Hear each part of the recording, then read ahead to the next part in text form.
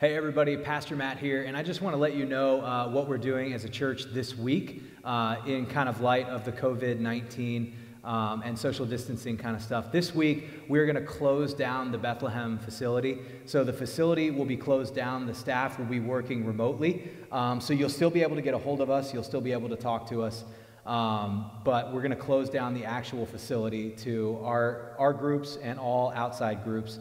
Um, and we're going to do that on a week to week basis. So right now you'll be able to live stream worship on Wednesday night at 7:30, um, just like you did on Sunday morning, and you'll be able to live stream worship again on Sunday morning. Um, and we'll keep you posted week to week on what we're doing, and we're just kind of following uh, the leadership in the community um, and trying to be a good neighbor um, to all those around us. And then uh, the only other event that's kind of off on the horizon that we're postponing is we're postponing um, or canceling the Easter egg hunt and the pancake breakfast. And I know that really stinks because for a lot of you, that's a big part of your Easter tradition. So I want to let you know that we're doing something special.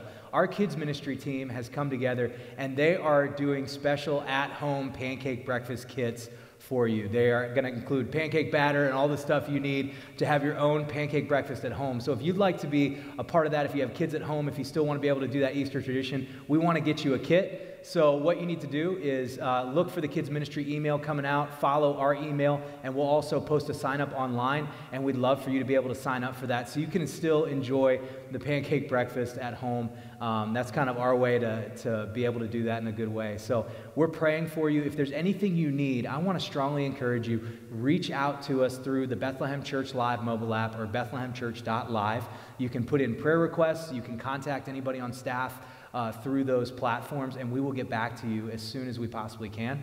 Um, and of course, just know this that we're in prayer for you, and we're in prayer for our community. So it's exciting to be uh, with you now, virtually, and uh, we hope that we will be able to gather together soon in person again. But till then, let the peace of Christ rest with you, and we're looking forward to seeing you next time, right here online, and as soon as we can, in person.